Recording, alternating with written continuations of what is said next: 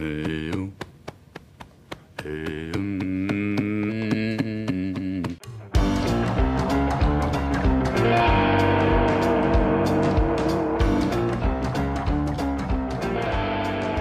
Fala, primos e primas, beleza? Você está ouvindo o Primocast, o podcast oficial do Primo Rico. Toda semana nós falaremos sobre empreendedorismo, investimentos, dicas e livros e também um pouquinho dos bastidores aqui do Primo. O Primocast vai ao ar toda segunda-feira nas principais plataformas de podcast, beleza? Isso se o Lucão não atrasar na edição, né? Você já sabe que acontece. Hoje vai ser um programa muito especial porque eu reuni uma galera de muito peso nesse mundo dos investimentos. Esse episódio vai ser tipo os Avengers. E vamos ver se a gente vai conseguir apresentar todo mundo em menos de meia hora. Começaremos então aqui apresentando o Perinão, cara. Muito obrigado pela sua presença. Eu agradeço o convite, Thiago. Sempre uma honra participar com essas pessoas aqui né, em volta. Tá ótimo.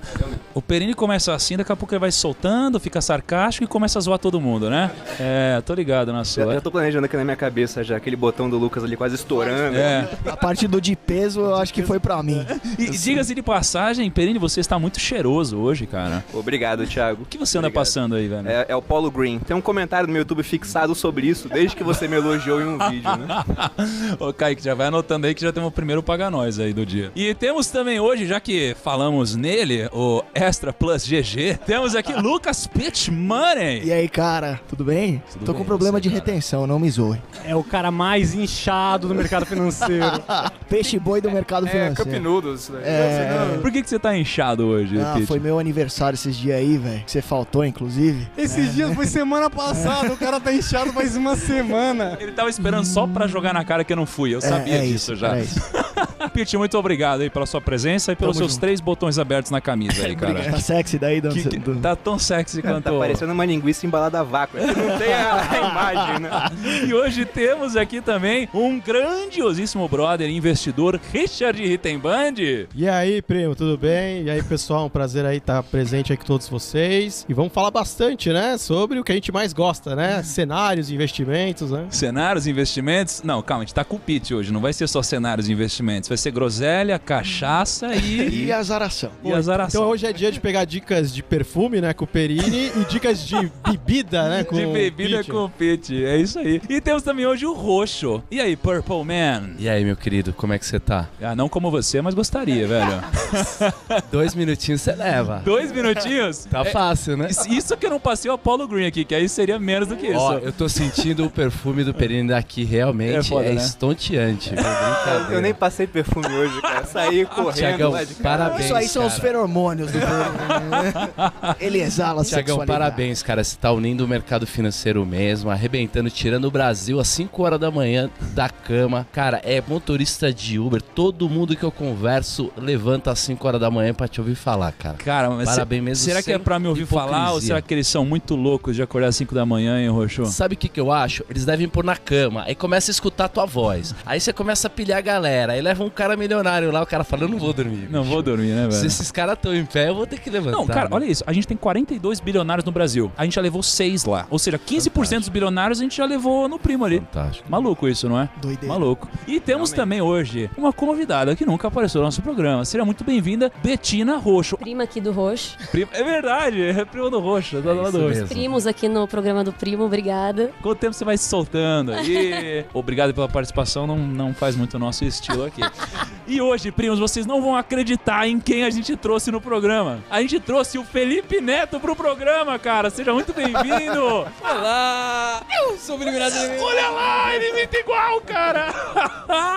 Muito obrigado, primo. É um prazer enorme estar aqui com você. Puta que pariu, como que pode essa voz aí? O cara é magro que só e fala assim, velho. É, tem que ganhar uns quilinhos, né, cara? Pete podia dar umas, umas aulinhas. O, o Pete, né? Ele tá, tá tentando fazer isso. Ele vai conseguir. Toma cuidado, viu? Não, Você não muito tô- com tô ele, aqui. é. Tem que afastar um pouquinho dele aqui. É. E, e hoje você tem quantos anos, cara? Tô com 22, cara. Putz, Não, grila, apresenta o cara direito, pelo amor de Deus. Ele não é o Felipe Neto. É, não é, Tá ligado? A gente vai ter menos downloads no programa. Não fala assim do cara, Calma meu. aí, é. Vamos lá, então. Estamos aqui com o Breno. O Breno, pô, tem um canal no YouTube, Jovens de Negócio. Depois a gente vai falar melhor sobre isso. Cara, seja muito bem-vindo aqui, viu? Pô, obrigado, cara. Prazer enorme estar aqui. A gente tava falando aí. Eu acho que é, essa galera, essa, todo, todo mundo, gente que eu admiro, que eu acompanho já de, de anos, então sabe do que significa poder compartilhar desse momento com todo mundo aí. Caraca, meu, você Chamou a você gente de sentiu, velho, mas Fiquei até emocionado. Também. Cara, a vo- vai falar que a voz dele não é sensual, velho. Galã, voz de galã. De galã, é, né? é o Batman, né? É o Batman, é verdade. obrigado, Boris. Estamos aqui com o famoso, o de sempre, o gordão teimoso. Obrigado, agora eu tenho apelido de gordão até no podcast. Pô, que, que bacana, hein, velho? E aí, primos, beleza? Aqui é o Lucão e, cara, eu me senti, assim, reunindo essa galera, que foi eu que chamei todo mundo aí. Eu me senti um pouco falando de Avengers, o, o Nick Fury ali, né, que chama todo mundo, né, Samuel Jackson. Mas na hora que eu cheguei aqui e vi todo mundo, cara, eu me senti um pouco Gavião Arqueiro, assim, sabe? Aquele cara que não, não tem muito a contribuir, mas tá ali pro elenco. Oi! Olha os caras.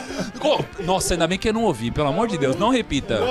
Quem não quiser repita, passar esse spoiler, filme também. Ó, o Primo não viu Avengers ainda, isso é uma vergonha, então passa um spoiler pra ele lá no, no Instagram. Não, não, para, para.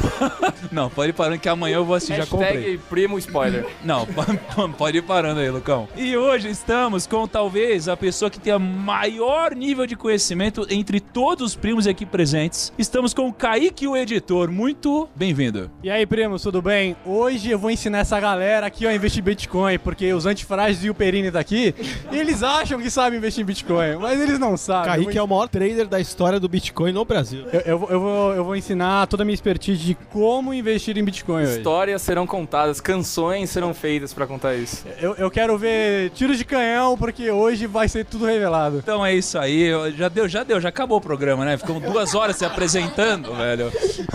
Bom, primos, então pra vocês verem, hoje o programa vai ser incrível. E eu não sei nem o tema direito. Ah, Ah, que ótimo, né? Eu faço lá uma pauta mó legal tal. E é uma surpresa. É que o tema a gente já aprendeu com a lei da Cacau Show, É verdade. O tema ele vai, Vai aparecendo ali, Vai surgindo. Tá conforme a interação Verdade, da galera. É verdade. Então vamos lá.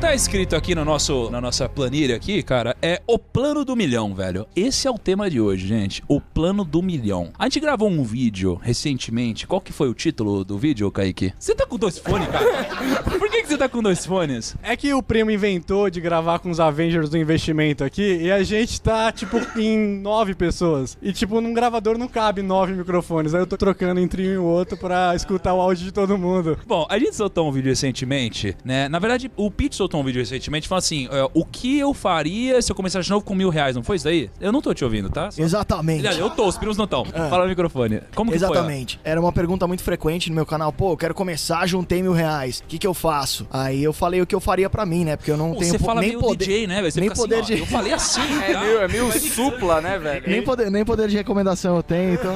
Parece um rapper. Eu, eu acho que ele compari- compraria seis Jack Daniel e seis Engoves, é o que daria. Não, Tenho cara. certeza que não. O, É, Ambev, não é? Metade Eu Ambev, comprar- metade em bebida. É, tem que entender como a empresa ganha dinheiro. Então, é o primeiro passo pra você investir. Então. Ambev foi meu primeiro investimento, na verdade. É Só mesmo? que hoje eu já começaria é, investindo em mais de uma empresa. Diferentemente de você, eu vi seu vídeo, colocaria várias empresas lá. O Pete fez esse vídeo, eu achei muito legal. Pô, eu também recebo muito essa pergunta, falei, vamos gravar. A gente gravou. Cara, a gente, esse vídeo foi incrível, deve estar com umas 500 mil visualizações. Entrou em alta no YouTube, foi o quinto vídeo mais visto do YouTube no dia, foi isso daí, não foi? Quinto. E aí eu falei, velho, Você vamos vê que o, chamar plá- essa... o plágio funciona, né? Plágio funciona, né? E Quando você faz melhor, hoje, né? né? Então, quando você tem que melhorar o vídeo dos outros, não é? É, o, o, o Pete entra lá de ressaca com a GoPro num quarto todo bagunçado e.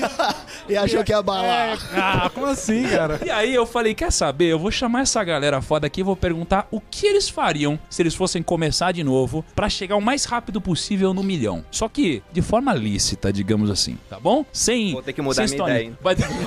é, Perino, não dá, cara. Então eu vou jogar pra vocês, pessoal. Se vocês fossem começar agora, vamos criar uma regra? Se tivesse tipo mil reais, assim, ou... Mas é pra É, investimento O que, só? eu, o que eu tracei aí foi o seguinte: primeiro, Ah. é que não sei quanto Conta o tempo racional demoraria. aí. Era tipo assim: primeiro falar realmente como que eles começaram e depois como que eles fariam hoje. Mas se tivesse começando de novo, sem um contexto específico. É, primeiro, tipo, como que eles realmente começaram. Mas se quiser pular essa parte e quiser partir pro. Tá, eu já ouvi, eu devo ter ouvido só umas 17 vezes, como o Perini começou, mas eu- talvez os primos não tenham ouvido. Perini, me conte, cara, como você começou e o que você teria feito diferente? Eu comecei com 17 anos, eu investi 100 reais em um fundo do extinto Banco Real, né? Depois foi comprado pelo Santander. E era um fundo que ele tinha boa governança corporativa, investia em empresas com preocupação ambiental, mas eu escolhi ele porque eu só tinha 100 reais. Era o único que dava. Ah, entendi. E aí eu coloquei dinheiro no fundo e era uma época que o que você comprasse subia em bolsa, né? 2007. E aí em dois meses de 100 foi pra 140 reais. Eu comecei a fazer conta, caramba, 40% em dois meses, né? Sou um gênio do mercado financeiro. É aqui mesmo. Se eu continuar mantendo esse ritmo, daqui a pouco eu tô na capa da Veja. E foi assim, lógico que depois caiu, subiu, mas depois disso eu comecei a investir em renda variável e só depois fui pra renda fixa. A capa da Veja não chegou ainda, né? Na capa da Veja não. A da Sexy já, já me proporam, né? De outras Mas aí a revistas Malu não assim, deixou, Mas aí né? não G foi Magazine autorizado, também não foi fica em autorizado. cima dele direto. Alô, Veja, chama nós! Mas se eu fosse começar de novo hoje, eu faria diferente. Acho que eu teria desses mil aí uma porcentagem, como é pouco dinheiro, não faria muita falta em, em criptomoedas. Eu acho que é o que tem mais potencial assim de explodir de valor. Caraca, se você tivesse mil reais, você iria colocar isso em criptomoedas? Não tudo, Não tudo. não tudo. Mas mil reais é, é- entendeu? Que se eu perder tudo é pouco, né? Aham. Então, se eu quero realmente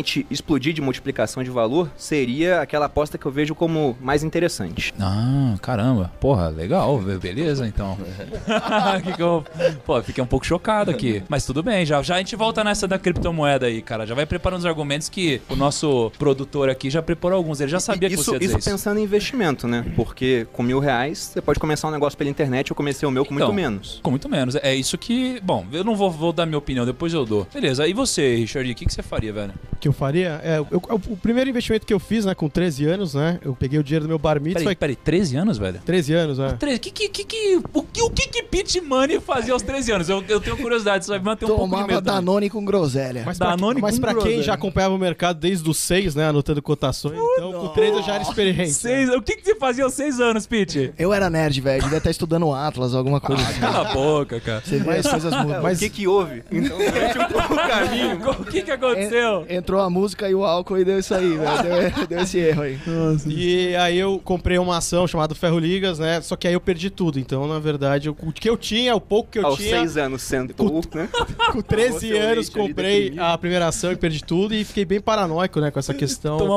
Do risco de ruína, né? Então, eu acho que tem que passar por isso, né? É importante, mas o, o que é importante, eu acho que o recado que eu passar, do que como eu começaria com essa história do mil reais, é que eu tô vendo muitas pessoas que têm uma ilusão de que vão enriquecer na renda fixa. Só que você pegar o patamar da renda fixa hoje, Tesouro IPCA, que paga 4% mais a inflação, se você for ver, para dobrar o capital vai levar 18 anos. Então, uma coisa que eu já defendo desde os tempos lá antigos da Expo Money é que se você quer realmente mudar de patamar, você precisa ser duas coisas. Você tem que ser um empreendedor, solucionando problemas eh, na sociedade, resolvendo coisas, pode ser um intraempreendedor dentro de uma organização também, e também um bom investidor. Bom investidor é aquele cara que ele vai se preocupar primeiro em sobreviver, estar vivo e se expor da forma correta. Então, acho que você tem que ser um bom empreendedor e um bom investidor para você conseguir essas mudanças de patamar. Porque a renda fixa no patamar atual, ela vai, no melhor das hipóteses, vai manter você ter um pequeno ganho. Porque às vezes eu vejo a pessoa assim, ah, eu comecei a investir, é legal, só que ela não tá fazendo conta, ela não tá. Então eu recomendo, pegue uma planilha Excel, faça, faça conta, simule até você ter um salário elevado e você poupando a maior parte disso, investindo nas taxas de mercado e veja quanto tempo que você demoraria para chegar. Então você tem que criar fontes de renda, você tem que criar essas alternativas. Senão, infelizmente, não vai ter uma chance assim de mudança de patamar, né? Que é o que a gente fala aí, que é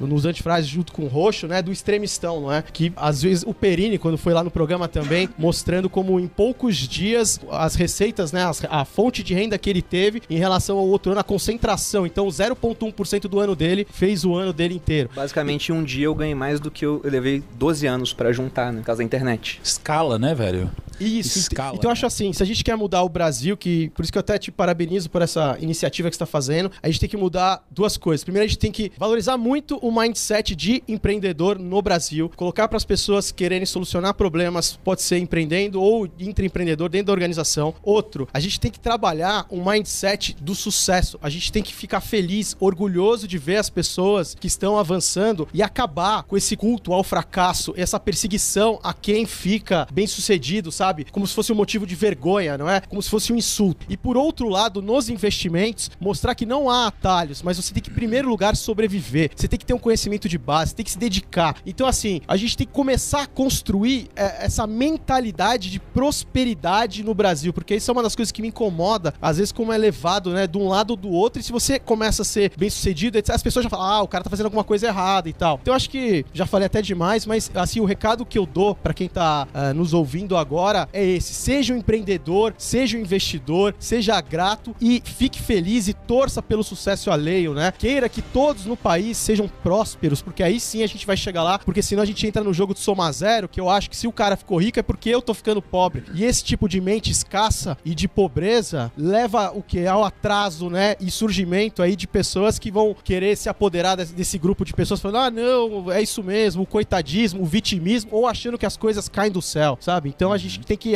arregaçar as mangas, né? E ir pra cima mesmo, sabe? Ir pra cima. Então acho que a gente precisa desse mindset. Uma das coisas que mais me perturba no Brasil e me incomoda justamente é esse culto ao fracasso e esse ódio que as pessoas às vezes têm ao sucesso e à riqueza, sabe? Você não pode falar, não, é um insulto, eu não posso falar isso. Ah, eu não... Então, eu acho que se a gente conseguir mudar isso e essa inici- iniciativa que você está fazendo, acho que aí realmente a gente vai ter uma, uma mudança assim estrutural brutal, né? Não, cara, na verdade, eu, eu queria adicionar um monte de coisa aí. Eu só não te cortei porque você tá falando tão bonito que, velho, eu não. Porra, porra, fudido, cara. É, do caralho. E- falou, jogou o microfone e foi embora, olha. Foi pior, é uma estrela, né, velho? Não, mas eu ia perguntar até pra vocês o seguinte: vocês sentem que isso acontece? Tipo, pô, todos vocês aqui são bem-sucedidos no que vocês fazem, né? Vocês sentem Menos o que... Kaique. Menos o Kaique. Não, ele é bom porque ele é. ele- Eu sou o, me- o- o- o- o- Não, mas eu sou o melhor editor do Brasil. Como assim? Segundo um post lá com 15 curtidas, ele é o melhor do Brasil mesmo. Eu ia perguntar, vocês sentem que, cara, prego que se destaca é martelado? Ou seja, vocês começaram a crescer, vocês começaram a receber crítica, ou vocês sentiram que teve pessoas que começaram a, pô, elas te elogiavam, mas no fundo ela- vocês sentem que elas queriam mal de vocês? Vocês sentiram isso daqui, não, quando vocês começaram a crescer? Eu já, eu já senti bastante inveja. E é, e é uma coisa muito ruim, né? Essa comparação que o outro faz com você e é, quando você tá progredindo, a pessoa sente dor nisso, né? Existem duas maneiras de passar por cima dos outros ou ficar em cima dos outros. Uma é diminuindo o outro. A outra é se esforçando e você conseguindo progredir e ver a sua própria evolução. Então, enquanto a gente não mudar essa cultura como o Richard falou, o Brasil vai continuar nesse atraso. E é muito mais prejudicial pra quem tem esse pensamento do que pra quem de fato tá se dando bem, né? Porque quem tá indo bem já tá trilhando um caminho positivo. É uma energia e- tóxica, né? É, uma energia que faz mal pra você mesmo, de ter esse pensamento ruim, né? No fim, você tem que admirar os outros e, e se ajudar pra Total. crescer também. O- mas eu quero perguntar um negócio pro Richard aí que você falou sobre é, matemática, que o cara não faz conta e tal. Você acha que, para eu ter sucesso no mundo dos investimentos de longo prazo, eu preciso ser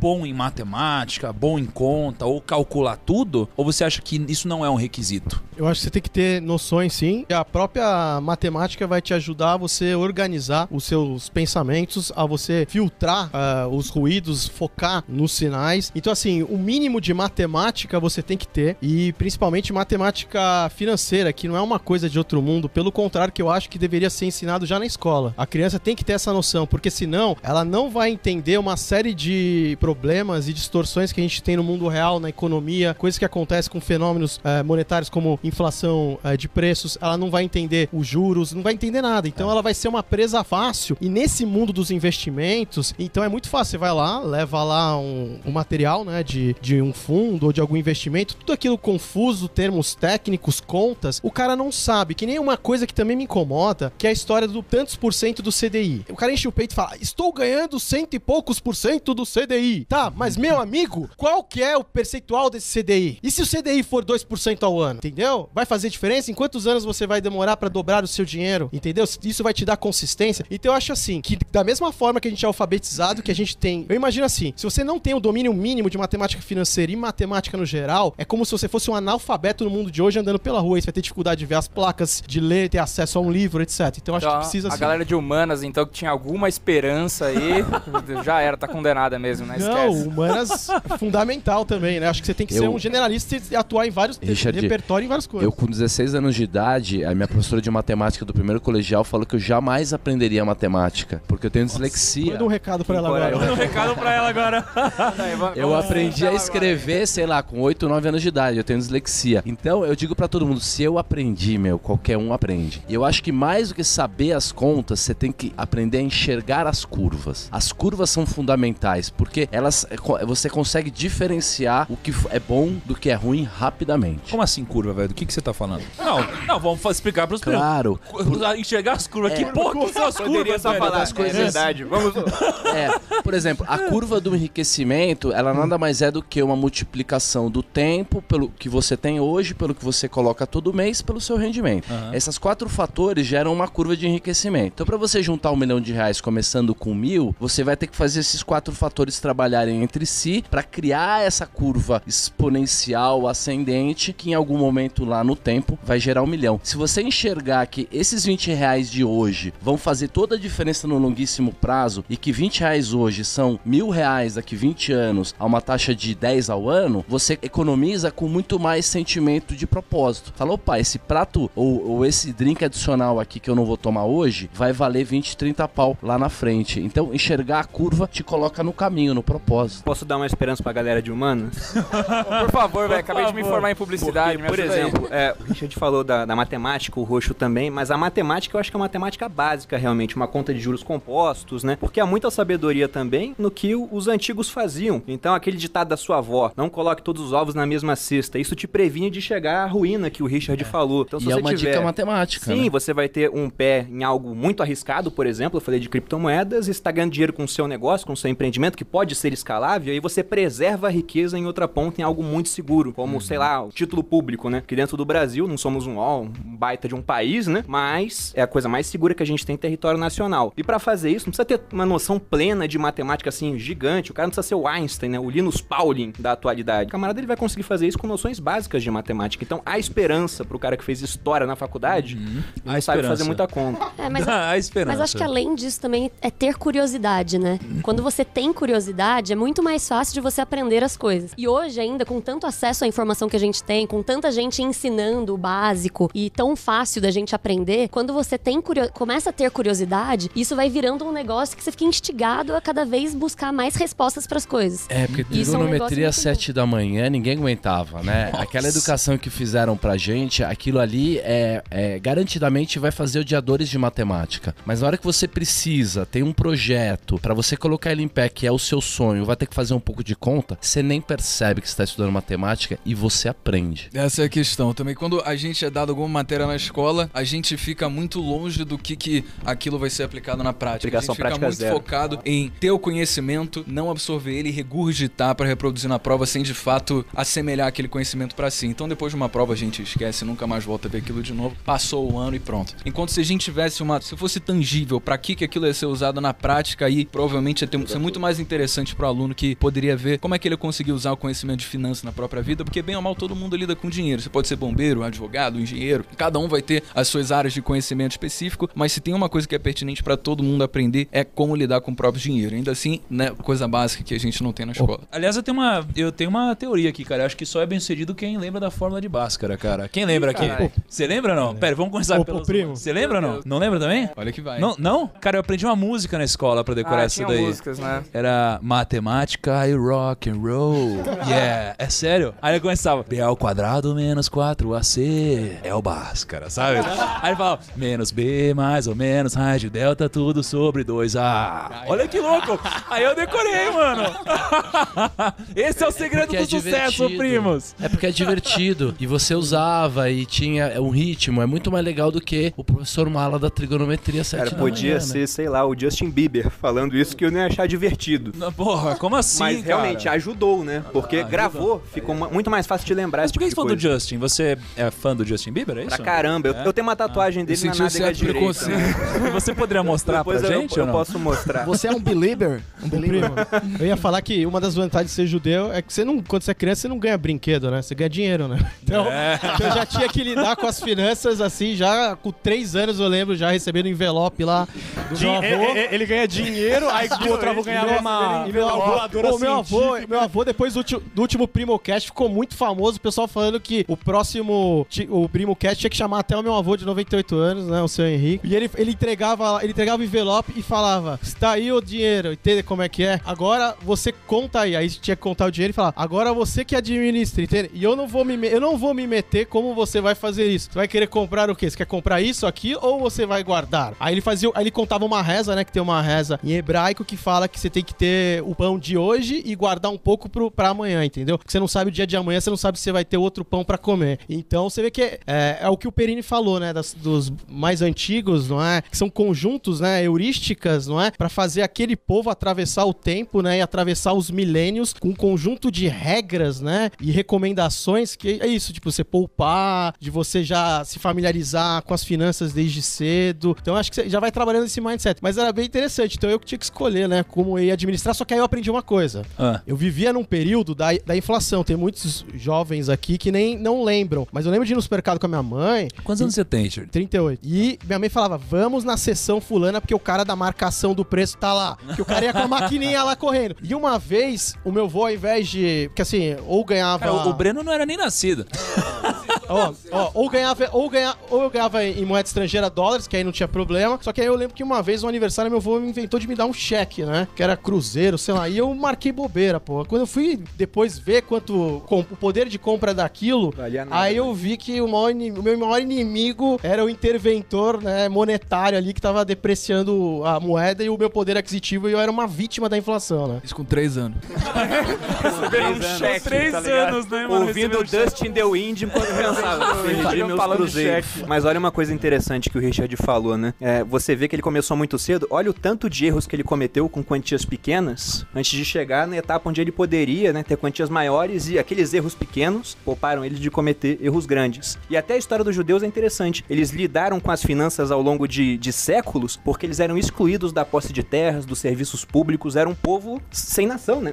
Eles eram uma nação, mas não tinham ali um estado, não tinham um território. Então os caras se viraram como eles podiam e aprenderam a lidar com as finanças e vão passando esse conhecimento até hoje. Mas vocês acham que educação financeira, tipo, de casa é essencial? Porque tem, tem muitos primos hoje que, tipo, eles acompanham a gente, mas os pais atingiram uma idade que não dá pra mudar a cabeça. Eu, minha mãe mesmo, eu não consigo fazer minha mãe investir por uma corretora nem a pau. É, Ela não acha muda. que. Ela fala que, tipo, ah, não, investir no futuro pra quê? Se o meu futuro tá aqui, sabe? Eu tenho essa Eu conversa com a minha mãe também, porque eu me lembro uns 15 anos atrás, 20, sei lá, eu falava, mãe, imagina daqui dois anos se a gente fizer tal coisa, e ela falava, daqui dois anos eu vou estar morta. Você acha que eu vou me preocupar com daqui dois anos? e hoje, 20 anos depois, eu falo, mãe, viu? Passou 20 anos, você tá aqui ainda. Ô, Pete, eu tô querendo ouvir sua voz aí. Fala alguma Oi, groselha pra nós, lindinho. vai. Cara, é, quer voltar no- nos mil reais? Acho que a gente começou. Cara, você ferrou todo o flow do negócio.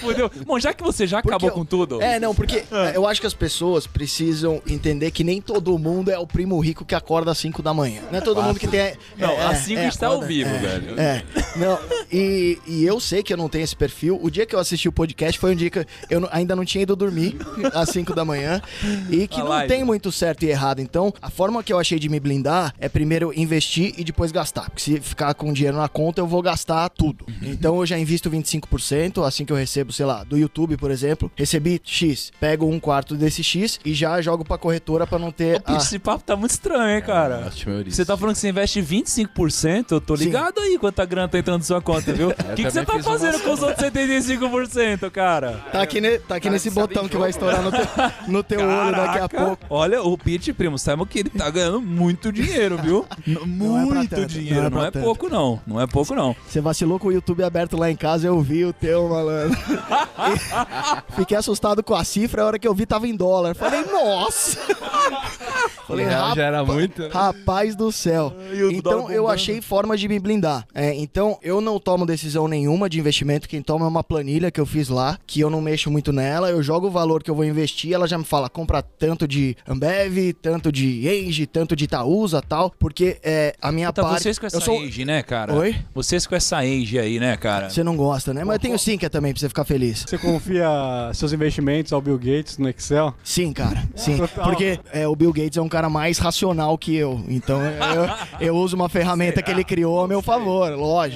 É lógico. Então acho que as pessoas têm que se blindar pra que é, investir se torne um negócio que, meu, se você não gosta, você tem que fazer de algum jeito. Criar uma prática. Você tem que se blindar de si mesmo. É o hábito. É Na verdade, é. Cresce fica- é um hábito mesmo, porque, tipo assim, eu fico meio ansioso pra investir de novo. Eu Se tenho- você não investe, você sente mal. E hoje eu faço isso, cara. Quando. é, primeiro eu invisto e depois eu gasto, cara. Às vezes eu fico até, tipo, meio sem grana pra investir o máximo que eu consigo, assim, cara. E eu fico meio ansioso pra investir de novo. É uma loucura, velho. Não, e o melhor é quando você chega nesse ponto, porque tem gente que tem muito prazer em gastar. Na verdade, todo mundo gosta de gastar, mas quando o prazer de comprar ações ou investimentos ele é tão grande ou tão próximo do prazer que você sente em gastar, você ganhou, cara. É, eu já tô nessa, eu já tô nessa. Não, e se você verdade. tem que resgatar então pra gastar, aí de jeito nenhum. Mas, mas tem que ter estômago também, porque eu não investi ações antes porque eu achei que eu não ia aguentar de ver o papel oscilando. Hoje eu tenho três ações lá que oscilam, tipo, diariamente e eu não ligo. Quem quiser saber essas ações, tem que baixar o PDF do Kaique lá e fazer o curso dele.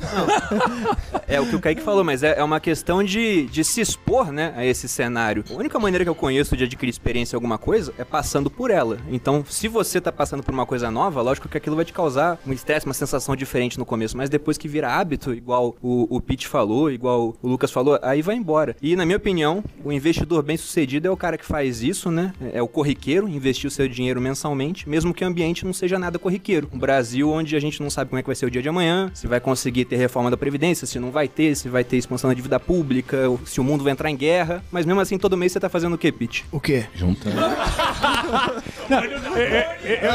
tá investindo seu dinheiro. Tava viajando.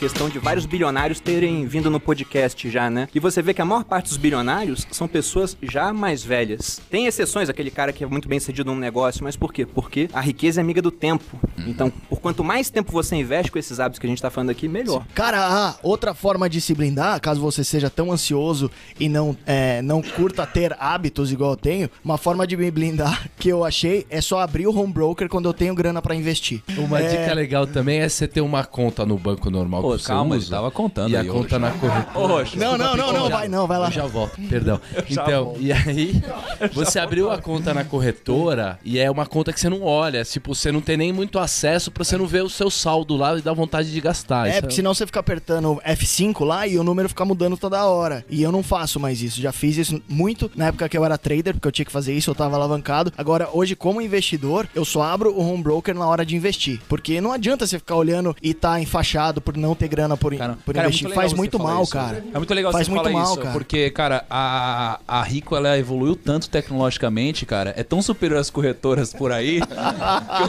vi que você não precisa nem apertar F5, cara, pra atualizar o valor. Olha só que incrível. incrível, hein? Pra você ver, Pete, É, chuva de alfinetadas aqui, cara. Ainda bem que a gente tá do lado oposto, senão a gente tinha voado no seu pescoço. É, é que nem uma história que o Perini e o Richard ficam me zoando, que eu comprei Bitcoin no ano passado. O e Kaique é um e- cara que consegue prever o cenário do Bitcoin como ninguém, cara. Só que vezes menos um. né? É, é. É, Só que ao eu fico contrário. meio assim, pra eu contar a história. Eu fiquei uns 5 meses com Bitcoin, eu não entendia direito como funcionava o papel. Eu falei, cara, não faz muito sentido eu ter esse Bitcoin. Eu vendi num domingo pra testar. Eu falei assim, será que dá pra, se- se- será, será que dá pra vender no domingo? Eu vendi. Qual foi o seu fundamento pra falar que não fazia mais sentido o Bitcoin? É que eu não entendi o papel. O, do- o dólar, o dólar subia, o Bitcoin caía. Às vezes o dólar caía, o Bitcoin subia. Aí às vezes o dólar subia, o Bitcoin subia junto. Eu falei, meu Deus, o que tá acontecendo? O Richard tá chorando só de ver você falar, Eu não entendia. E também eu, eu tinha preguiça de estudar sobre o Bitcoin. Aí eu falei, cara, vou vender. Aí vendi no domingo. Cara, terça-feira. Subiu sem Subiu, subiu, subiu surrealmente. É o pé de Tá na foca. máxima agora do ano, não tá? Era, Se isso era uma de nuvem negra cá, negócio. Foi 60%. Quase mas teve como 6.500 comprar dólares, mais baixo ainda. Tem gente com retorno maior do que isso. Só esse ano. Caraca. Eu trabalhei no Bradescão. E o Kaique Aliás, deu todo o macete. Aí cara. trabalhei É só fazer o contrário. Estou vendendo. Todo mundo desesperadamente comprou. Não.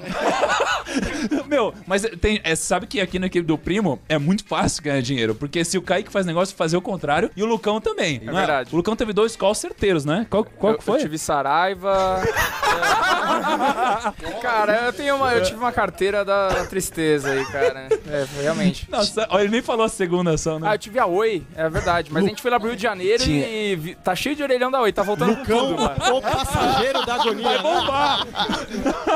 Tinha um operador de pré negão na década de 90, que era o Fusquinha. E era assim, quando o Fusquinha comprava, ele- todo mundo pedia pra avisar, entendeu? Aí os caras faziam uma vaquinha e falava, ô Fusquinha, compra 100 de CSN pra ela derrubar pra gente poder comprar. Então os caras põem dinheiro na conta dele mesmo pra pra comprar. Primo, você sabe que nos cassinos antigos, old school, tinha uma prática de, de pegar, tipo, pessoas que eram muito azaradas, que é chamado de cooler, e, e quando tinha alguém ganhando muito na mesa, colocar o cara lá e o cara fazia todo mundo perder. Tem até um filme, o cooler, não é? Sério? Era uma prática como é, pegava um cara que, sei lá, Ai, o que cara meu, animal. faz todo mundo perder. Se ele tá por perto... Ó, então va- vamos começar o podcast, Eu tô porque... preocupado com Vamos- o, o primo que tava em casa, assim, esperando pra saber o plano do milhão. Ele tá com um caderno na mão, tentando anotar, entendeu? Aí, tipo, o que aconteceu com esse cara? v- vamos começar o, o podcast que até agora eu não sei qual é o tema ainda, mas vamos descobrir. Cara, ó, vou dar um desafio pra vocês aqui e aí eu quero que vocês respondam. Vamos supor que vocês agora, vocês estão muito novos, vocês estão tipo na idade do Breno, tá bom? Jovem Tipo, Bruce Wayne aí. Bruce Wayne, tá bom? Obrigado. Muito obrigado. E aí vocês agora, agora, vocês não tem nada investido e vocês começam a ter mil reais sobrando todos os meses. O que vocês fazem? Todos os meses. Todos os meses. Acho que. Negócio e investimento, você tá falando? Cara. Os dois combinados ou só investimento? Os Acho que tendo dois. mil reais, né? O que, que, que quer fazer? É, eu, eu acho que só, só vale tirar aquela regrinha do, da reserva de emergência que a gente pode pular, que isso é, né? Investimento, meu. Investimento. Depois a gente fala- É, e, e- pula, e pula a regra dos seis meses lá de reserva de emergência. Sem reserva de emergência. Só, só pra gente explicar, né? Aliás, pô, pô, explica a reserva de emergência pra nós aí, vai. Reserva de emergência, você pega seis meses do seu custo de vida, coloca em uma aplicação que tem, que tem liquidez diária, que aí, caso aconteça alguma coisa na sua vida, sua, sua mulher quis te botar pra fora de casa, você Gastou deu um Danone. Merda, aí você pega esse dinheiro e usa pra ser feliz. E aí, então, vamos. Não existe a regra da reserva de emergência aqui. A gente já tá investindo pro futuro. O que, que a gente vai investir aí? Manda aí, Breno. Pô, Só com mil reais, com mil reais. É, eu acho que eu, eu vou puxar aqui o papo do Pitch, cara, porque mil reais, assim, se for falar Ah, não, de você vai querer investimento... comprar 52 ações com mil reais. Também na planilha do Bill Gates. Cara, não é pra comprar para, pet de vai. cerveja, de- com- vai comprar uma ação de cada no fracionário? Como assim, Não, cara? é que o, o negócio, por exemplo, o Seis cara que não de breja, sabe, não, o cara mano. que não sabe renda variável, ele, por exemplo, ele poderia botar o pezinho ali, pegando um ETF ali de Bova 11, porque ele vai ver que tem alguma oscilação, mas não é nada como se ele tivesse comprado ação de uma empresa específica, né? Então ali ele, na Bova 11 já tem uma carteira que tá diversificada entre vários ativos e por isso ele vai ter o gostinho. Depois, com esses novos e outros mil reais que vão surgindo, o cara pode começar a usar um pouco desse dinheiro para investir no próprio conhecimento, adquirindo leituras e cursos, para que ele consiga ter mais consciência nas próprias decisões e assim liquidar o que ele tem em Bova 11 e fazer novos aportes nas empresas que ele acha que são bons negócios aí pro longo prazo. Cara, você é um puta de um sabonete, hein, velho? Você falou, falou, falou, falou, e cadê, mano? Olha, tá aprendendo muito com o Kaique, hein, velho? O Kaique, ele também fala. Fala, e aí, Kaique, editou o vídeo? Aí ele, veja bem. Aí ele começa a dar uma volta, assim, ó. E eu não entendo se ele editou ou não. Eu e- já quis ser político. quis ser político. Não, beleza. Então, cara, você diversificaria em ações, é isso? É, de ações, assim, livros é porque é minha aprender mais. realidade hoje também. 20% é reserva de emergência, o resto tá em renda variável. Porque, bem ou mal, o dinheiro que eu tenho hoje, eu não preciso dele mesmo. Uhum. Então, o que potencialmente poderia vir a necessitar tá na, na reserva de emergência e pronto, acabou. O problema também quando a gente pensa lá atrás o que a gente faria se voltasse ao tempo, a gente pegaria uma fase horrível pra bolsa, né? Então, acho que nessas horas também é muito bom Magazine. você ter um conhecimento mínimo de, de que tá, o que tá acontecendo no mundo, o que tá acontecendo no Brasil, pra também não ter essas surpresas negativas. Ou se, Agora- se a gente fosse voltar mesmo lá, era só comprar Magazine Luiza, né? Assim, Ou tudo isso, em né? Magazine Luiza, É, né? mas dado que a gente E tem a vai. máquina do tempo aí, né? Bota Bitcoin então, Quando- pô. quando Ô, eu- Mas você Bitcoin. também teria Seria que ter um muito melhor. conhecimento maior da. Lógico, lógico. Qu- lógico. Quando eu entrei na bolsa em 97, a taxa de juros era 20, e em agosto de 98 foi para 54% no único dia. E, é, semanas, na semana seguinte que eu entrei na bolsa, comecei a trabalhar, foi a crise dos tigres asiáticos. A bolsa caiu loucamente. É, começou bem, então, né? Comecei, é pé de foca total. Era o cooler da época. O... Sou eu Era o mesmo. roxo. Galera, só pra. ah, tipo, o Breno respondeu e o próximo. ah, porque a gente pulou de novo. Então, Pete, o que, que você faria com mil reais? O roxo falou, eu posso responder? Pode. Pete, porra, mano. Quer seguir a ordem ou quer pular? Não. Vai vai Cara, eu, eu acho que as pessoas têm que entender que a bolsa é um mecanismo onde você manda o seu excedente do seu trabalho pra que no futuro você, é, quando você não puder mais trabalhar, a sua riqueza seja exponencializada. Mas a riqueza não vem da bolsa. É, a riqueza vem de empreender, de ter boas ideias, de botar a cachola pra funcionar. Tem gente que acha que é muito fácil. Ah, mil reais. Meu, mil reais na bolsa não é nada. Não é o que vai, não é o que vai te enriquecer. É importante dar o passo dos primeiros mil reais, mas não é isso que vai te enriquecer. Você vai ter que trabalhar, você vai ter que botar a cachola pra funcionar, você vai ter que empreender, assumir risco. Então, é, no meu exemplo, eu não, eu tinha uma GoPro, eu tinha um computador, eu liguei a GoPro, comecei a falar umas asneiras lá e deu certo, saca? Mas, tipo, é, levou tempo, levou Enganou mais... uma galera. Enganei tal. uma galera, depois uns famosinhos me chamaram pra gravar, eu fui, aí o canal estourou, aí hoje eu tô bem, graças a vocês. Mas você viu o que aconteceria se desse errado? Se não tivesse tido sucesso, o que, que você perderia? É, então, Nada, só um É, nada. tempo que ele usou pra gravar. exato. Tempo dele, né? Então, é, eu acho que as pessoas não valia precisam- muito na época, tem que né, jogar um balde de água fria na galera. Tipo, a bolsa não vai ser o que vai te deixar rico. Ela vai ou te manter rico ou exponencializar uma riqueza que você já construiu via trabalho, porque não tem como. Tá até em linha com a diversificação, né? Você Sim, exatamente, Minimizar seus é. riscos, não Exato. Investir em uma coisa só. É, E- eu acho que é por aí. Mas e aí, Betina, dá pra. Dá pra você transformar mil reais em um milhão aí? 1 milhão e Tava 42 esperando mil. essa Você pergunta. sabia que ia chegar. Toda né? Betina sabe esse segredo? Toda Betina sabe esse segredo. Cara, a gente precisa criar um codinome, né, cara? Um- É uma máfia? é uma máfia. É uma máfia. Mas e aí, dá ou não dá?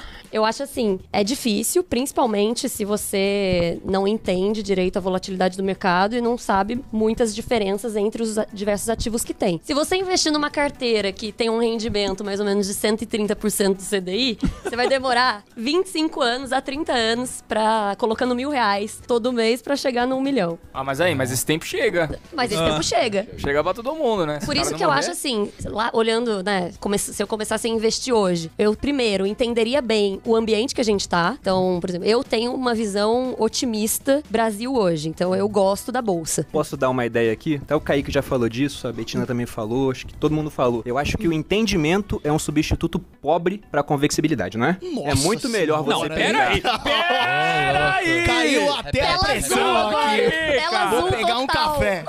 Vou até pegar um café. Porque, ó, eu entendo muito Não, do não, negócio. fala de novo. A a- o entendimento é um substituto pobre. Você tem que estar convexo no mercado. Ou seja, é aquilo que o Pete falou. Liguei uma câmera e deu certo. O Pete falou isso. Eu só uso o Pete falando Danone e groselha. Ele falou, liguei uma câmera e deu certo. E explodiu de ganhar dinheiro. Hoje o Pete tá ganhando quase um milhão ao ano. cara. Quase um milhão. Ao ano? milhão ao não, não, ano. ao mês. Ao mês. E se desse errado, ia perder zero. Então por isso que eu defendi a ideia dos mil reais em criptomoedas. Se der errado, você pode perder no máximo mil reais. Só que ela tem um potencial de multiplicação, como já mostrou que tinha, muito grande. E quando eu comecei a investir em criptomoeda lá atrás, o pessoal falava, isso é coisa de terrorista. Deu uma grana, né? E deu muito atrás, dinheiro né, no Pete? final. Foi o investimento o melhor que eu fiz na minha vida e dificilmente algo vai superar isso, exceto um negócio bem sucedido. Então, você pode não entender no mercado. Você bota, faz várias as- apostas, né, com potencial de dar muito mais dinheiro do que o potencial de perda, e as ações são um instrumento para isso, porque você perde no máximo 100% e pode ganhar igual a Magazine Luiza, 83 vezes o que você investiu. Mas eu acho que o mais importante também é não ficar tentando copiar outras pessoas, né? Porque é, cada um tem uma versão a risco. Então, você entender qual é a sua faz total diferença na hora de você ficar feliz ou triste com seus investimentos. É, tem que respeitar. É porque é o que o Kaique falou, né? O Kaique tava começando, ele não tinha noção do. Ele tinha medo da volatilidade, então ele não tinha coragem de fazer isso. Hoje ele tem mais conhecimento, né? E aí já tem um pouco mais de coragem. Uma coisa que eu queria puxar, e se a estratégia do cara, por exemplo, aí é- agora é o Richard e o, e o Roxo que gostam muito de falar disso, dos ciclos, né? E se o cara aproveita pra ficar investindo, pode ser no tesouro mesmo, com liquidez, e esperar o mercado, esperar o ciclo virar. O cara fica investindo com muita liquidez e tal, e cara, É, ele tá é. só esperando o negócio desabar, porque aí ele vai entrar numa empresa, vamos pegar uma empresa de potencial, Magazine aí, e cara, ele fala, cara, é aí que eu vou estourar, vou multiplicar 10 vezes em 5 anos, sei lá. É, a minha dica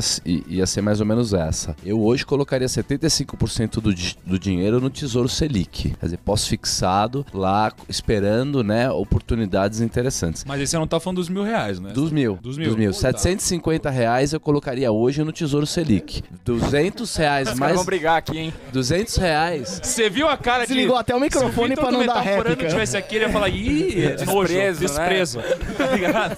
Eu colocaria umas 200 pratas na bolsa e 50 pratas eu compraria em pozinho de call de put, de opção todo mês. Essa seria a minha Caramba, alocação. velho. Não, é. Pensei já que você ia dar uma. Beleza que dá Pozinho pode ser dinheiro, um mas ótimo calma aí, negócio. né? Por que você tá dando tanta risada, Pete? Tá, tá muito risada. Aí Você viu? Olha lá. tá Porque eu fiquei assustado. Falei, meu, tem uma pessoa mais sem noção que eu.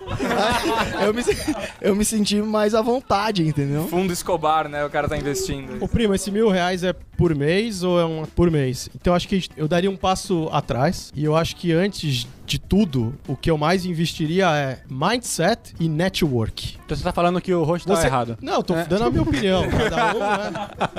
Mindset, por quê? Porque você precisa transformar a sua mente, os seus hábitos, antes de você se tornar alguém próspero e rico. A, mudança vem na mente primeiro. Segundo ponto, network. Isso é muito importante. Você tem que se posicionar bem na rede, na sociedade, para você ter acesso às boas oportunidades, bons insights, conteúdos. E tem várias formas de você fazer isso e você não precisa nem de dinheiro. Então, mindset, network. E a partir disso, né? Muitas possibilidades iam surgir. Esses mil reais aí iam ficar. Ia ser só história. Mas, dito isso, se fosse alocar ah, os mil reais hoje, o cenário é hoje ou do passado, etc. Hoje? Hoje, não é? Hoje. Se essa pessoa tivesse acesso a algum tipo de ferramenta que conseguisse eh, dizer pra elas, como o Lucão falou, se é um bom momento pra estar exposto ou não a determinada classe de ativo, respeitando os movimentos delas e os ciclos, hoje, o que, que a gente tem muito bom hoje? Hoje, hoje que a gente tá gravando esse Hoje, pod- hoje. podcast. Mas hoje, hoje. Você tem a Bolsa Brasileira em modo de correção desde que passou os 100 mil pontos e aí ela tá voltando em correção. Você tem os Estados Unidos que nessa semana, depois de muito tempo, que já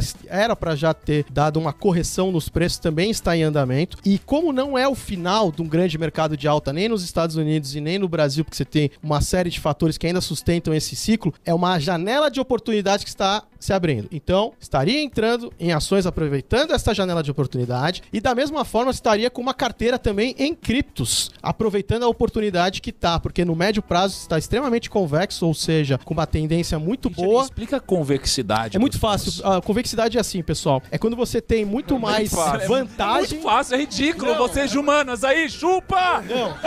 É quando você tem uma situação que você tem um- uma perda limitada visível e você tem ganhos potenciais que podem tender ao infinito. Por que investimento em ações, ele é extremamente convexo desde que você permaneça no jogo? Por quê? Concorda comigo. Pra onde pode ir se você não alavancar o preço de uma ação? Pode ir a Zero. zero. Porém, se as coisas derem certo, pra quanto que pode ir o preço de uma ação? Não tem limite. Infinito. Vocês estão visualizando agora a convexidade. A Isso é curva- convexidade. A curva convexa. Só que se tiver ferramentas que ainda te permitem filtrar e você se expor em bons negócios, empresas, coisas que se provaram no tempo, então você vai conseguindo mais. Então eu estaria em ações, aproveitando essa janela de oportunidade, a carteira de criptos, não abriria a mão de ter opcionalidade no sentido de ter alguma, algum, algum dinheirinho em caixa, apesar de não fazer diferença nesse valor. Mas antes, pessoal, volte um passo atrás. É fundamental mindset e network. Porque uma coisa também que eu aprendi com meu avô mais uma vez, ele falava: se o cara recebe um dinheiro, ganha na loteria, o cara, sei lá, dá uma sortinha na vida e fica rico, mas ele tem uma mentalidade de escassez, é questão de tempo para ele ficar pobre. Agora, se um cara tem uma mente próspera e dá riqueza, ele pode até perder, só que ele consegue se levantar de novo. Por exemplo, Silvio Santos, se ele ficasse pobre hoje, quanto tempo você acha que o cara já estaria rico de novo? É, rapidinho. O cara tem a mente, né?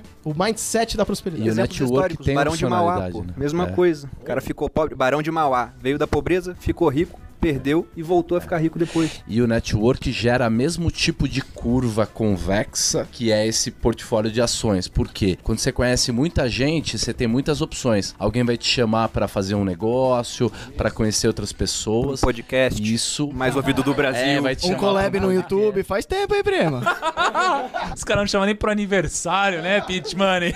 Bom, enfim, eu queria perguntar um negócio pra vocês. Vocês acham que dá pra enriquecer investindo? Eu acho que dá. Vai demorar mais, na minha opinião. Vai demorar mais, porque o- Pete ele falou isso. Você bota mil reais na bolsa, pega a Magazine Luiza, que multiplicou seu capital em 83 vezes, né? Sabe, muita coisa. Você não vai ter ficado rico ainda. Você precisa botar mais dinheiro. Então, por isso que eu falei no começo, é negócio ou é investimento? Porque se for negócio, é o que o Breno tá fazendo, pô. Pegou, começou um canal, né? Tá lá gastando pouco dinheiro pra isso. Você fez a mesma coisa, eu fiz a mesma coisa, o Pete fez a mesma coisa. Todo mundo aqui tá usando a internet de alguma maneira pra poder escalar o seu negócio. E eu acho que esse é o melhor investimento que pode ser feito Mas hoje. com mil por mês dá pra ficar rico, sem dúvida. E a Investindo? Investindo, com Ah, certeza. que isso, cara. Sim. Ah, não, não dá, cara. Não Claro dá. que dá. Não, não, dá, dá, mas possibilidade é diferente de probabilidade. Cara, É. com mil reais por mês, a Bettina tava contando aqui. você Sobrando dá. 25, 30 anos mais ou menos, não é? É, cara, 30% do CDI, com considerando quantos- CDI hoje, né? com quantos anos começa a sobrar mil reais por mês? Sei lá, uns 25, anos, 25, uma média aí. Tirando o Breno, que tá ganhando muito dinheiro, né, Breno? Muito dinheiro, né? Ô, eu tô praticamente o Barça agora. O Barça, é. Cara, mil reais por mês, com 25 anos, pô, aí você vai enriquecer com, se for em 30 anos, anos, você vai 50. enriquecer com 55 anos, velho. 55 anos, porra. Ah, mas o auge da vida de uma pessoa hoje é 50 anos. Pô, pensando no meu avô com 80 É, tá que trampa certo. pra caralho, 55 Ah, é suave. Não, o cara. auge é 50 anos? O auge não é- Para. Hoje em dia é. Não é 50 anos. Quem Não, fala eu isso tem entendi o 40 que você tá poucos anos já. falando. Não, não é possível. Não é, concorda? Ah, o auge é 50, eu tenho 48. É a Por isso me- que eu vou falar isso, não é? Aquele Ah, cara, cara da terceira idade que fala que é a melhor idade. Você acha mesmo que o Pete vai conseguir chegar bem aos 50 anos? Imagina o Temos que acelerar esse processo aí, velho. Porque. É. Se bem que eu passei dos 27 também, agora vai embora até. Passou dos 10 milhões já, então tá Passou, suave. já pô. tem mais de 10 milhões na conta também. Não, cara, eu acho que, óbvio que dá pra você enriquecer de duas formas, né? Ganhando mais que você gasta e gastando menos que você ganha. Mas, cara, gastar menos que você ganha vai ser manter disciplina, pode ser corrente, se no final da sua vida, cara, por causa dos juros compostos, você vai ter dinheiro, só que talvez você já não tenha o mesmo tempo ou saúde. E, É, cara, e vai ter que sacrificar muita qualidade de vida esse tempo todo, Exato. né? Não, É- pe- é pegando complicado. o título de um dos livros mais vendidos da atualidade aqui, né? Do mil ao milhão, fazendo o quê? sem cortar o cafezinho, Sem velho. cortar o cafezinho, pô. Ah. Porque aquela história de deixa de tomar um inclusive, hein? café por dia Puta pra ter uma livro, Ferrari Eu daqui a tentei 30 pegar a anos. assinatura do cara que escreveu, mas eu cheguei em Fortaleza, tinha uma fila tão grande que ia pra fora do shopping. Juro por Deus, cara. O cara ficou até meia-noite assinando o livro. É, que eu não sei que o Perini ia aparecer lá sem camisa, cara. Aí a fila se formou, Aí, mano. Mas parece. é que também não tem fórmula mágica, né? Acho que fazer essa combinação do que a gente tá falando aqui, de você ter um, um negócio seu, ou um trabalho, ou alguma coisa, e investindo que você poupa, em vez de você poupar sem investir, né? Deixar lá na conta corrente sem render nada, ou olhar aquilo e gastar, simplesmente você ter um pouco desse equilíbrio e continuar trabalhando e ganhando seu dinheiro e investindo o que você consegue poupar. É, eu acho que investir não é o que vai te enriquecer. Investir é o que vai acelerar o seu processo de enriquecimento. Exato. Vai Exatamente. garantir também, é? porque uma parte da curva é, é o rendimento e a outra é o quanto você junta por mês. Se os quatro fatores não tiverem alinhados, como é uma multiplicação, se qualquer um deles for zero, a tua riqueza vai pra zero. Mas mais ou menos, porque assim, eu conheço um monte de gente, hoje menos, mas já conheci muita gente que era multimilionária investindo na poupança. Então, não é. E hoje é o que mais tem, né? Assim, hoje tem muitas pessoas na poupança. Sim. E não foi isso que enriqueceu ela. É que se ela tivesse investido direito, ela teria acelerado o processo dela, não é? Mas aí você tocou num ponto interessante. O investimento também é bom pra preservar a sua riqueza. Isso. Porque negócios também têm ciclos, pô. Ninguém garante que daqui a, a cinco anos, né, o YouTube vai ser o que ele é hoje, o Instagram vai ser o que ele é hoje, e todo mundo aqui vai ter o, o mesmo faturamento que tem hoje. Então, se Block- algo acontecer, eu sei que os meus investimentos, por mais que haja volatilidade, né, como eu tô diversificado, né, com investimentos é, não correlacionados, eu sei que lá na frente eu vou ter preservado parte da minha riqueza, hein. E nesses 30 anos, certamente, se você tiver paciência, oportunidades incríveis vão aparecer. Vai ter uma crise ferrada, um cara vai querer vender um negócio, você vai poder comprar o negócio do cara, é, as, as ações vão ficar muito baratas. Então, é, é, é fundamental você ir poupar, porque é, você vai se tornando cada vez mais robusto e aí uma grande oportunidade aparece mesmo, assim. Acho que é importante definir também qual que é a métrica pra denominar uma pessoa de rica, porque a gente fica falando, é possível, não é possível? Às vezes um cara que tá ganhando Não, rico Opa. Perini. Primo Rico, é o cara que, que Sabia que ia falar. é o host do podcast. é o threshold ali. É. Um private bank em Nova York, pra você abrir a conta lá, precisa de 10 milhões de dólares. Que isso? Isso é um cara rico É lá lá você Nova tem York. conta, Perini? Não. Por, por essa métrica, só o Thiago que, que tá lá hoje. Mas você vê, o cara que tem, por exemplo, 10 milhões, ele tá bem de vida. Só que quanto mais dinheiro você tem, acontece que a, a fe- a felicidade marginal daquilo acaba sendo muito pequena. Você vê a diferença do cara que tem 100 milhões pro cara que tem um bilhão. É muito pouco a diferença do que cada um pode fazer. A qualidade de vida deles vai mudar. Então, qual que é a métrica pra você decidir se uma pessoa vai ser rica ou não? Às vezes o cara é feliz pra caraca, tem, tá, pô, Ah, sei lá, com um milhão eu- ganha 5 pau por mês. Eu, eu perguntei pro, pro Eike Batista qual a diferença de um bilhão e cinco, ele falou que é só o tamanho da lancha. Tirando isso, não, Olha, não tem não acho tem que uma, uma das melhores definições que eu a vi... gente foi até lá e você não aprendeu a falar o nome do cara ainda. É Ike, velho. O cara fez o Desculpa, tirateima, velho. Desculpa, Ike. Ó, uma das, uma das melhores definições que eu já vi, o Perini, que ele no Instagram outro dia Sobre ele deu lá. riqueza? Isso. Sobre riqueza, pra mim, são quatro ingredientes, né? E aposto que muita gente vai concordar aqui. Primeiro, não em uma ordem de importância, mas se eu fosse colocar, isso seria a primeira mesmo, é a saúde. Porque sem saúde, você não consegue correr atrás dos outros. E quando você tá com problema de saúde, você pode querer trocar tudo que você tem pra curar aquilo. Vai ser o cara mais rico do isso- cemitério. Eu né? digo isso porque eu passei por isso. Com hérnia de disco, se alguém falasse por um milhão, eu te curo hoje. Eu dava um milhão pro cara. A segunda coisa é dinheiro. Porque você precisa de dinheiro pra trocar pelas coisas que você quer. Ninguém paga uma viagem hoje com sorrisos. A não ser que você tenha uma audiência muito grande e poste uma foto. Perini paga. Né? A terceira coisa é você ser dono do seu tempo. Porque tem muito milionário, cara com 10 milhões aí na conta, que o cara não é dono do tempo dele, ele é, é escravo de outra pessoa ou do seu negócio, às vezes, né? Ele simplesmente não tem liberdade temporal. E o último ingrediente é liberdade geográfica. Você poder fazer o que você quiser, de onde você quiser. Então, com esses quatro, acho que a pessoa é verdadeiramente rica. E isso é variável, né? Então, tem gente que com um milhão vai se sentir plenamente rico, tendo os outros, e às vezes um político corrupto, como a gente teve vários aí, o cara desvia bilhões e não se sente rico a ponto de querer desviar mais dinheiro ainda. Eu achava que você ia falar do perfume aí em algum momento.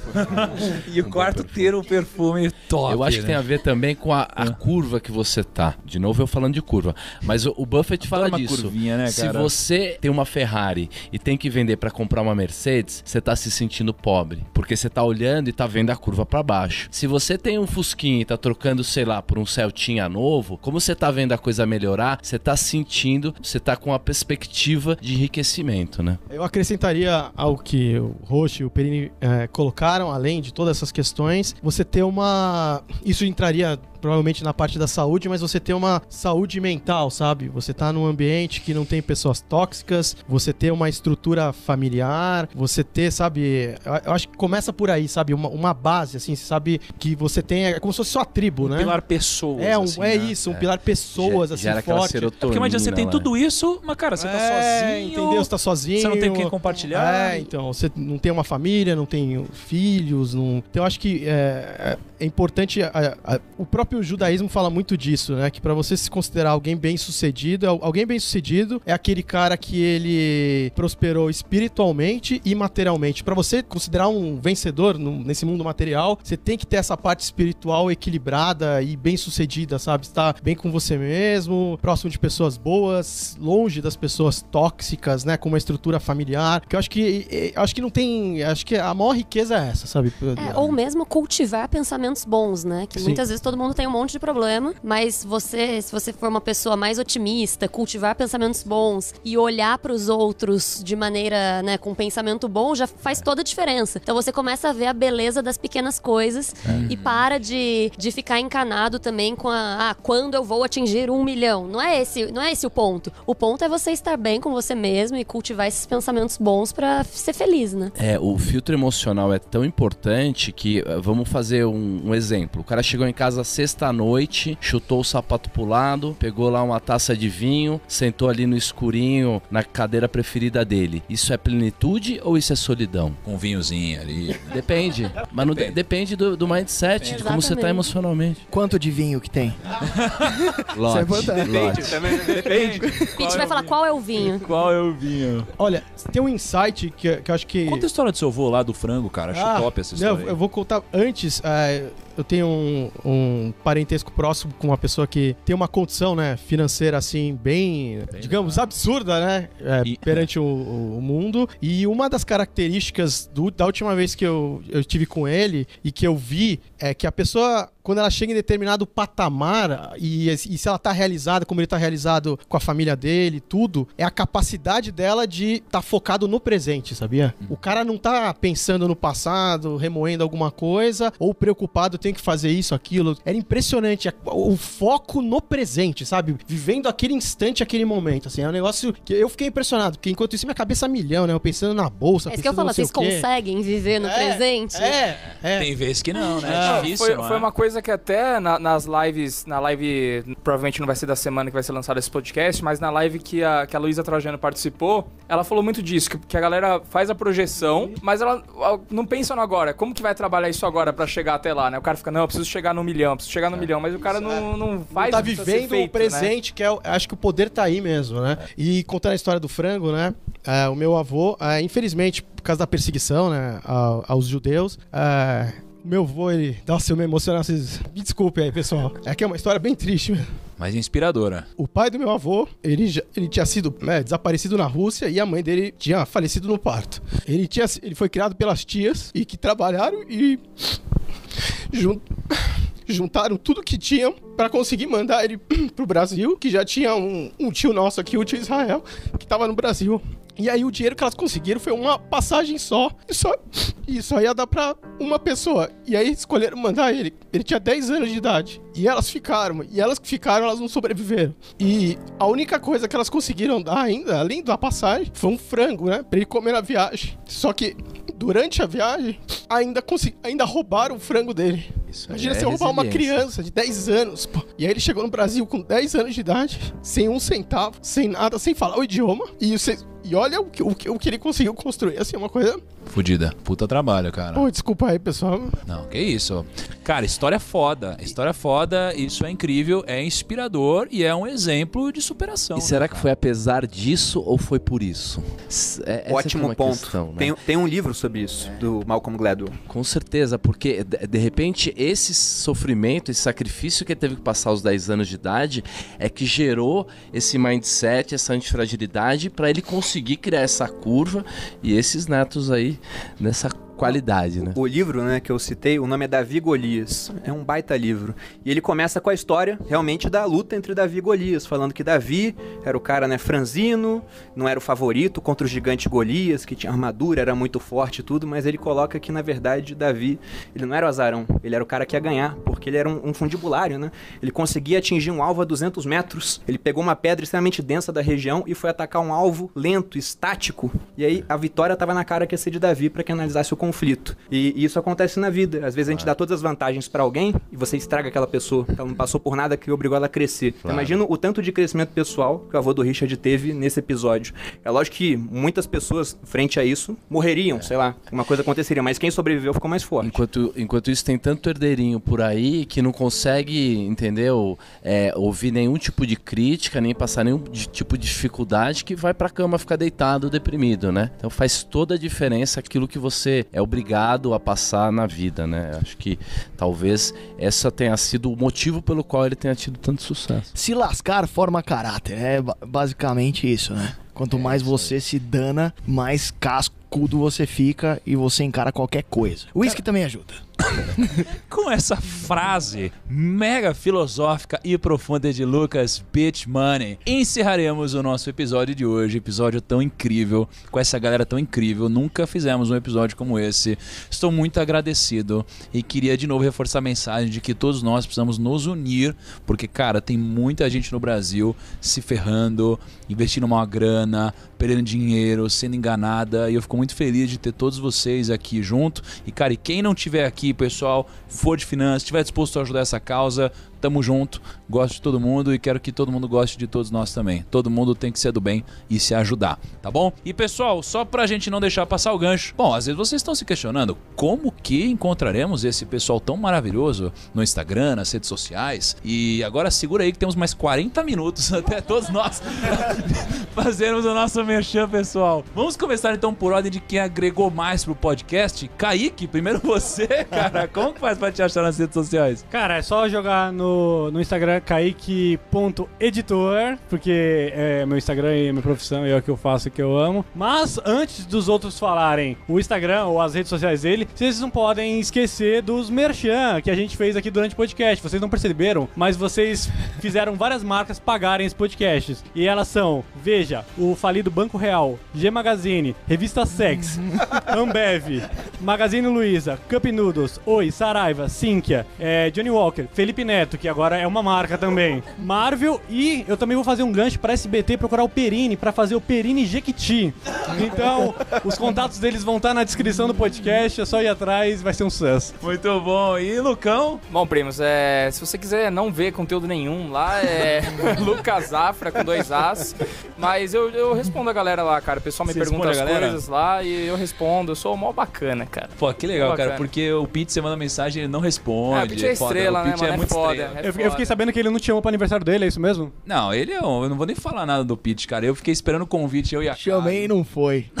Mentira, cara. É mentira, ela falou que é mentira, primos, pra quem não consegue ver. E, poxa, estamos também com o Breno hoje, né, Breno? Pô, como que te acha o famoso Felipe Neto aí da galera? Isso, vocês estão me usando aí, cara. Se parar de Felipe Neto. É, então, cê- é, é, então, é isso aí, é Felipe Neto mesmo, lá no YouTube. É, não, mentira. Jovens de Negócios, canal do YouTube sobre finanças, empreendedorismo, negócios, mindset. Então, é, quiser adicionar no Instagram também, é bem underline perrucho. Você tá bombando no YouTube, né, velho? Você tá como aí? Pros seus padrões, acho que não, cara. Lógico que tá, meu. Que isso. Tá bombando Então, assim, tem uns vídeos dele lá que já vi que tem uns 70 mil visualizações lá, tem coisa Não, é, o, o quali- o- a qualidade do canal dele, meu, é foda, cara. Eu gosto pra caralho, principalmente da edição. Eu Não sei se você fez algum curso, mas eu acho bem bacana. Mas será que, na verdade, isso não tá acontecendo porque o pessoal clica achando que é o Felipe Neto ali? Acontece muito, cara. Tem muita Acontece criança te Pode ver. seguindo. Porque se tiver muita criança, é por isso. no Analytics, tá ligado? Faz umas thumb com a cara do Felipe já. Neto, assim, tá Entre ligado? 7 e 13 anos ali, tô vendo a barrinha tá, tá crescendo.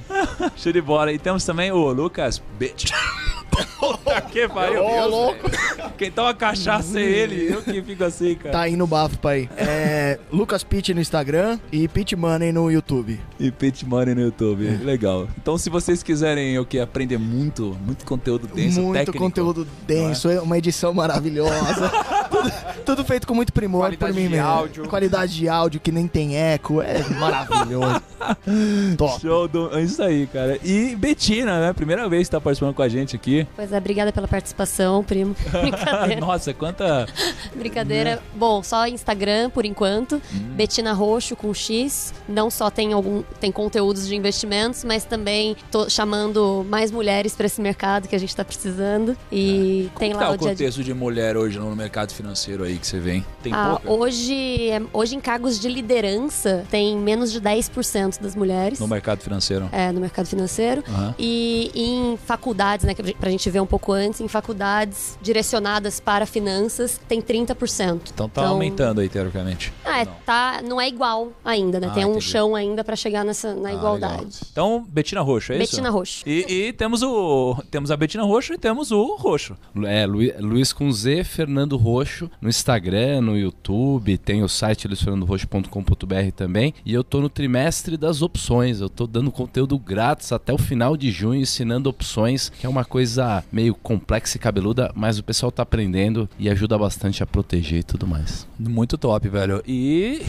Richard, muito obrigado pela sua história hoje, no cara. Instagram, meu sobrenome, né? Ritemband, né? RY, né? E é a rede que eu tenho mais utilizado. E o dia que se fizer um Primocast aí sobre qual o, o pior investimento recente, a gente conta aquela história nossa lá de Nápoles, Nossa. daquela pizza de pepperoni. Puta, Acho cara. que foi o pior investimento aí dos últimos É, tempos, a né? Cá lembra bem dessa pizza de pepperoni A aí. gente tomou um gato ali do cara. O cara quis enganar a gente, mas depois a gente conta. Tá como- bom, a vista era bonita, né? Não, a pizza era bonita, né? Você era bonita ali. Foi só a pizza que o cara. O né, vídeo ficou legal depois do casamento. Ficou legal, é. Muito é isso aí, bom. então, não- Valeu, Richard. E aí temos o cara mais cheiroso do podcast.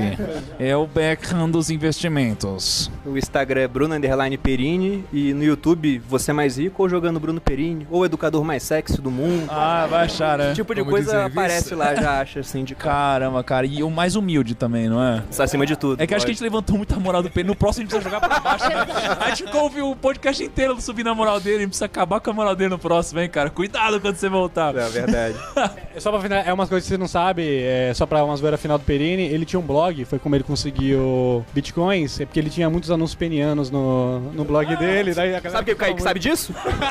Por que o Kaique sabe disso? Por Vamos fechar com essa Kaique? Tá ficando pergunta. estranho aí, cara. É isso aí, primos. Um grande abraço e tchau.